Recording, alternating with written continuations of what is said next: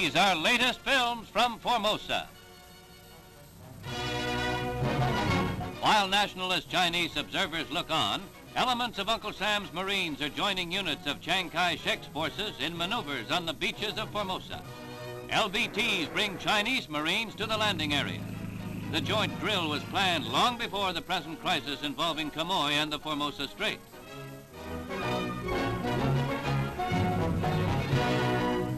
Here come the Leathernecks.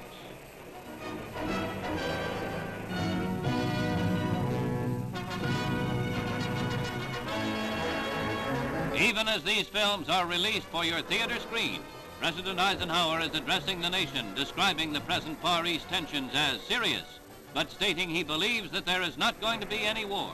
Diplomacy can and should find a way out.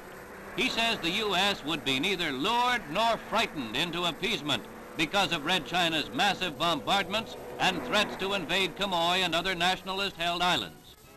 The president says he devoutly hopes Communist China will agree to a ceasefire before Quemoy explodes into a bigger conflict.